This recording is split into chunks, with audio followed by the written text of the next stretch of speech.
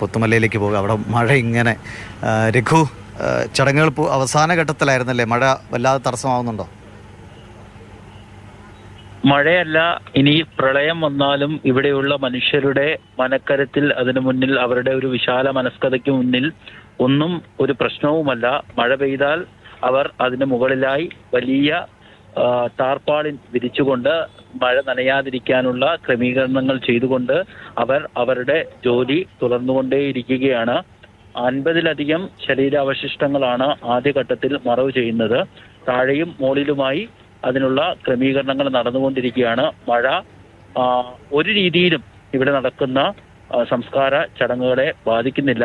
മഴ നനഞ്ഞുകൊണ്ട് ചിലർ അത് ചെയ്യുന്നുണ്ട്. മഴ നനയാതിരിക്കാൻ വേണ്ടി ഈ നമ്മുടെ കുഴിമാടത്തിലേക്ക് വെള്ളം ഇറ്റു വീഴാതിരിക്കാൻ വേണ്ടി വലിയ ഒക്കെ വിരിച്ച് കൊണ്ട് അവർ ആ ജോലി തുടർന്നുകൊണ്ടിരിക്കുകയാണ്.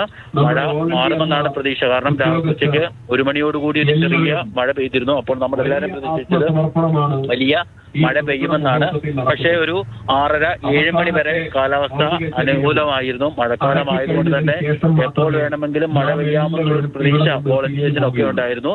അതുകൊണ്ട് തന്നെ ഇതിനൊരു ബദൽ ക്രമീകരണങ്ങളും അവർ ഒരുക്കിയിരുന്നു അഥവാ ക്രമീകരണമോ ഒരുക്കിയില്ലെങ്കിൽ തന്നെ മഴ നനഞ്ഞുകൊണ്ട് തന്നെ അവർ ആ ജോലി ചെയ്യുമെന്ന് എനിക്ക് ഉറപ്പാണ്. കാരണം രണ്ട് ദിവസമേ ആയുള്ളൂ ഇവിടെ വന്നിട്ട്. പക്ഷേ ഈ സന്നദ്ധ സംഘടനകൾ പ്രവർത്തകട്ടെ പ്രവർത്തകരുടെ അതായത് നമ്മുടെ യുവജന സംഘടനകളിൽപ്പെട്ട വിവിധ വിവിധ രാഷ്ട്രീയ പാർട്ടികളുടെ എല്ലാ രാഷ്ട്രീയ പാർട്ടികളുടെയും യുവജന സംഘടനയിൽപ്പെട്ടവർ രാഷ്ട്രീയ സംഘടനയിൽപ്പെട്ടവരൊക്കെ അവരുടെ ജോലി പോലും ഉപേക്ഷിച്ച് അവരുടെ ആരോഗ്യം പോലും മറന്നുകൊണ്ട് ഈ ദുരിതാശ്വാസ പ്രവർത്തനങ്ങളിൽ സജീവമായി പങ്കാളികളാവുമ്പോൾ മഴയെന്നല്ല എന്തു വന്നാലും ഒരു കുഴപ്പവുമില്ല.